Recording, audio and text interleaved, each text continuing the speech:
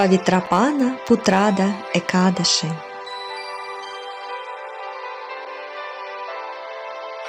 Праведный царь Юдхиштхира беседовал с Господом Кришной и задавал ему вопросы об Экадыше, которые очень нравились Кришне, потому что Экадыши – это любимый день Кришны.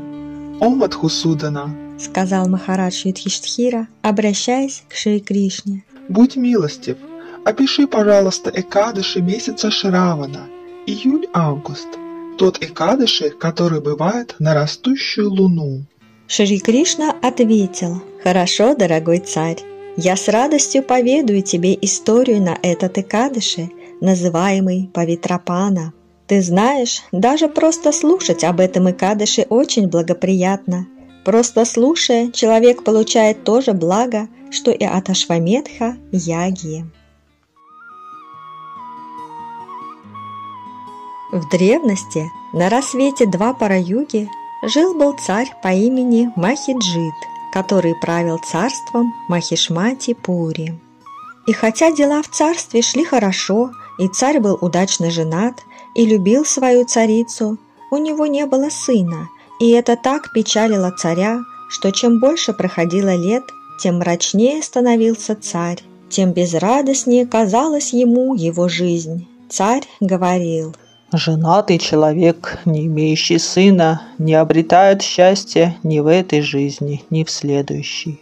Кто же совершит по мне шрадху, когда я уйду в мир иной? Кто освободит меня от ада, если я не имею сына?» Собрав на совет своих советников, ученых-брахманов, царь обратился к ним. «О, достопочтенные ученые мужи!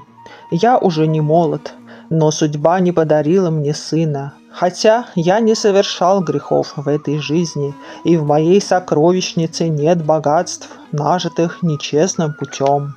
Всегда я почитал брахманов, святых и полубогов. Я вел честные войны с другими государствами, следуя правилам и предписаниям ведического военного искусства для кшатриев. О своих подданных я заботился словно бы о своих детях. Строг я был даже с родственниками и наказывал их, если они приступали закон. Если же мой враг был благороден и религиозен, я с честью приветствовал его. И хотя я вел праведную жизнь и следовал предписаниям вет, в моем доме нет сына. О, ученые мужи, скажите, пожалуйста, мне причину моего наказания и что мне делать, чтобы обрести сына. Брахманы, советники царя, не знали ответа на этот вопрос. Они собрались в паломничество и посетили ашрамы многих мудрецов в поисках ответа. Судьба привела их к ашраму прославленного мудреца Ламаши Риши. Этот Риши был аскетичен, чист, самоудовлетворен и строго следовал обетам поста. Он полностью владел своими чувствами, победил гнев и преуспел в исполнении дхармы, в совершении своих предписанных обязанностей. Ламаши Риши был знатоком вет, а продолжительность его жизни была очень длинна и равнялась жизни самого Господа Брахмы. Мудрец знал прошлое, настоящее и будущее. По завершению каждой кальпы, которая длится 4 миллиарда 320 миллионов земных лет, из тела мудреца выпадал один волосок. Царские советники Брахманы были счастливы встретить прославленного мудреца. С радостью в сердце они выразили ему почтение, совершив множество поклонов. Плененные великой личностью и святостью Ламаши Риши, брахманы сказали – о, великий Риши, только благодаря огромной удаче мы смогли увидеть тебя. Ламаши Риши пригласил брахманов сесть и сказал, «О, брахманы, милостиво откройте мне, зачем вы пришли сюда и сейчас поклоняетесь мне? Я сделаю для вас все, что смогу, ибо я избрал путь служения Богу, и у меня в жизни нет иного предназначения, как только помогать другим. Воистину, служа Господу Вишну, Ламаши Риши обрел все добрые качества и стал святым. Старший из брахманов ответил. «О, просветленный, ты подобен Господу Брахме, и во всем мире нет большего мудреца. Мы пришли, чтобы ты помог решить серьезную проблему нашего царя Махиджита.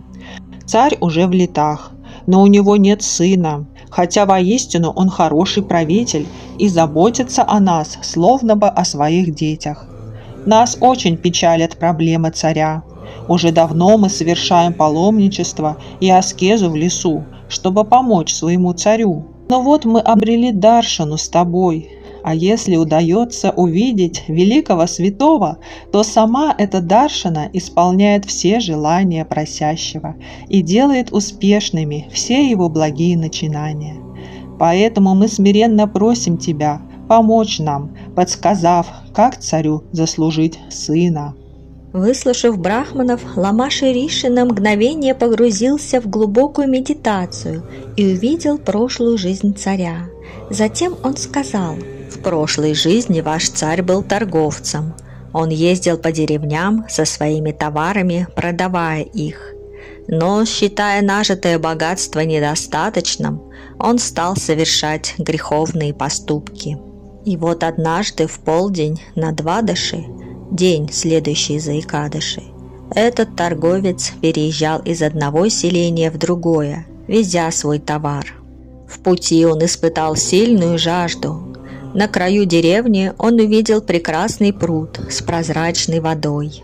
Торговец нетерпеливо подбежал к этому пруду, желая напиться. И в этот же момент туда подошла корова с новорожденным теленком – из-за жары они тоже испытывали сильную жажду, но как только они начали пить, торговец грубо оттолкнул их и начал пить сам. Это оскорбление коровы и теленка привело к тому, что теперь у вашего царя нет сына. Но добрые дела, совершенные им в предыдущей жизни, дали ему возможность стать царем мирного царства. Выслушав святого, брахманы спросили. «О, Риши, мы слышали из вет, что можно избавиться от кармических последствий, совершенных в прошлом грехов, делая благие дела. О, будь добр к нам и дай нам наставление, что делать царю, чтобы разрушить свои прошлые грехи. И, пожалуйста, благослови царя на рождение наследника». Ламаши Риши ответил – в светлой половине месяца Шравана есть Экадыши, называемый Путрада, что переводится как «дающий сына». Этот Экадыши также известен под названием Павитра, что переводится как «святой». В этот день царь и все вы должны поститься и бодрствовать всю ночь, строго следуя правилам и предписаниям для Экадыши Враты.